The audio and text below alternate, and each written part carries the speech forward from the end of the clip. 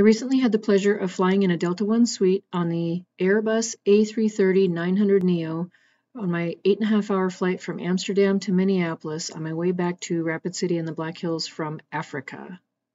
I was greeted with a glass of sparkling wine as I set in to check out all the buttons in my window seat of 6J. You have your own suite lighting, headphones for watching movies, listening to music, a free bottle of water, and this compartment to put books or other items. Seat control, which includes manual or presets from upright to flatbed, lighting, the do not disturb wall, an international plug-in, two USB charging ports, and the double-pronged headphone port.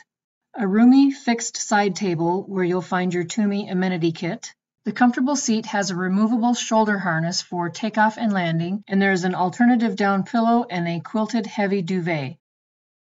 Included in the reusable Tumi amenity kit bag is a pair of socks, sleeping mask, earplugs, gel hand sanitizer, toothpaste, toothbrush, mouthwash, a pen, and Le Labo brand face mist and lip balm. I'm only 5'4", but I can imagine that even for a tall person, there's plenty of legroom in these seats, even when in the flat position for sleeping. There's a flip-up access on the tabletop that has a mirror and a remote for lights, a call button, and a touch screen in front of you. The retractable dining table slides forward and backward to get closer to you, plus pushes into the stationary table on the side. The large screen for Delta Studio shows the time, your seat, and takes you to movies, TV series, and audio features. Plus there's a call button and you can control your light from there.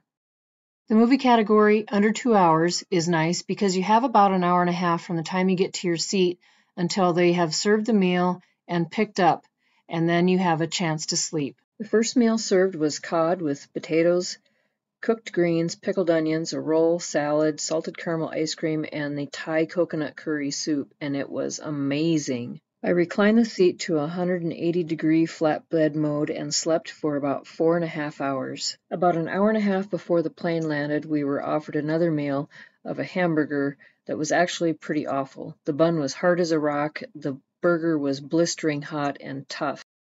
I had just enough time to watch a quick movie before my great flight on the 900 Neo Delta One suite ended. I can't imagine flying any other way.